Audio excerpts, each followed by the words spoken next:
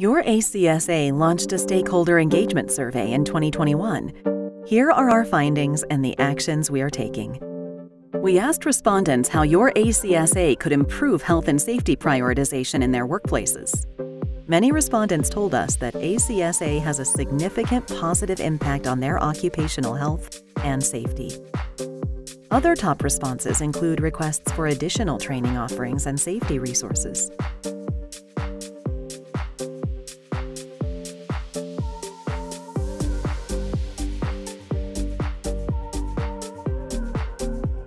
Plus, out of 726 respondents, over 90% of respondents said ACSA had a positive impact on their workplace's health and safety.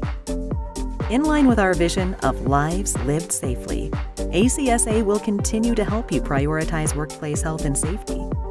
You can find 76 safe work practice resources on youracsa.ca. And you can subscribe to the Your ACSA update for your safety news. Don't forget that ACSA also has 73 virtual and online training offerings. Your ACSA is here to support health and safety at your workplace. Learn more at youracsa.ca.